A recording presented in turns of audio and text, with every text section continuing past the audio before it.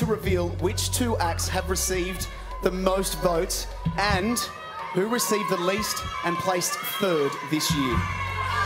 Good luck to everybody. Now, as always, these results are in no particular order.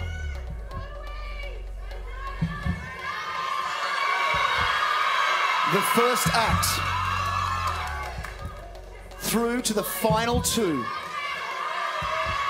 And one step closer to winning this year's title is